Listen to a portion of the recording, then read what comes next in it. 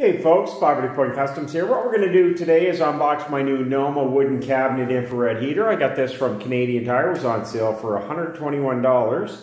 Regular price is $150 plus tax. Alright, so let's take a look at the box. Now this infrared heater has three zone settings. It's uh, high, which is 1500 watts, low, which is 750, and eco mode. Also comes with a remote control. Nice thing about these, they're quite compact and they put out quite a bit of heat. So let's get it unboxed and see what's inside there.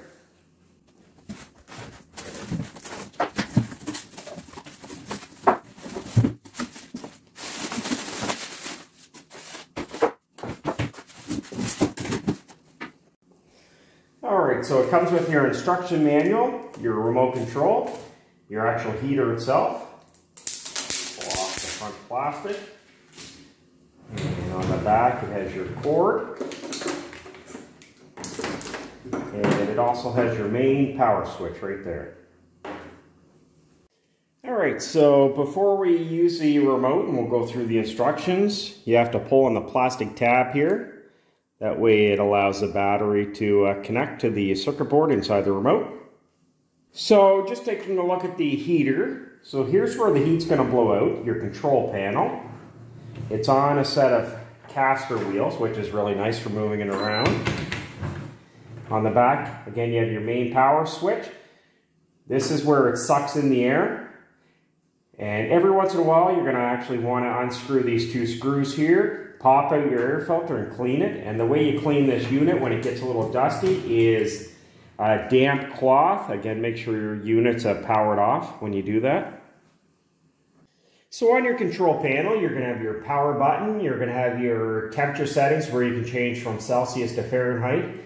Your temperature up and down. This is your mode button for high temperature, low temperature, or eco mode. This is where you set your timer. And this is where you set your lock button. So if you don't want anybody to actually change anything on here or using the remote, you hold your lock button down for three seconds. That actually locks both this screen and your remote.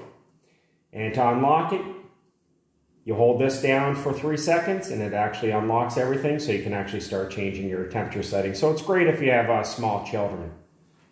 All right, so let's turn it on for the first time. So we're gonna hit the power button. Right now it's set for 86 degrees Fahrenheit. So again, you can press this button here, changes to Celsius. This is your temperature up and down. So we'll put it at around, say, 19. Yeah, let's go high. Let's go up to 22. And then this will keep this unit at 22 degrees Celsius and it will kick off when it is that temperature, the ambient temperature around the unit. And again, to turn it off, just your, use your power button. And it will take a few minutes so the, the fan will actually stay on until the unit cools down. So again, with the remote control, you have your power button, you have your mode setting, you have your temperature up and down, and your timer. So again, let's turn the unit on. And again, you can put your temperature up and down. Again, you can choose between your modes. As you see right here, that's high temp. Press the mode button again, low temp, and eco. So what this does with the eco mode, it will keep it either at 20 degrees or 68 degrees Fahrenheit. And that way it will keep the air around it at that temperature. It will kick off when it reaches that temperature. So it, it will maintain your room at 68 or 20 degrees Celsius, which is nice. And again, you have your timer.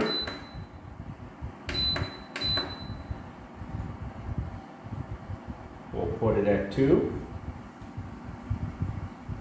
It will flash for a couple seconds. There you go. And again, you can see that your timer's on.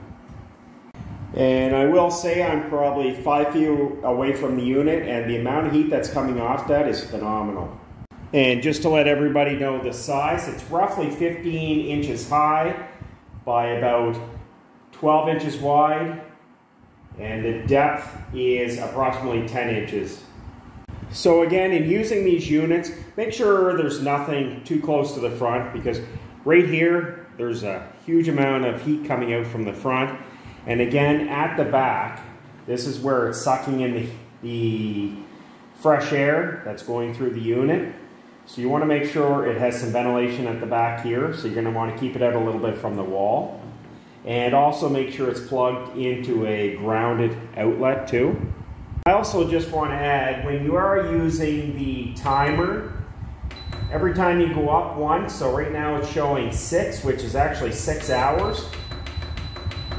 And it will let you go up as long as 12 hours on the uh, timer. So right there again, it's set for uh, one hour. Anyways, this is just a short unboxing video of my Noma infrared heater and a little instructional video. So if you have any questions or comments regarding these, make sure you post them below. Also, if you have any tips for other people watching the video, uh, make sure you leave a comment below. Again, if uh, you like this video, make sure you smash that thumbs up button and make sure to subscribe. Thanks for watching. Take care and have a Merry Christmas.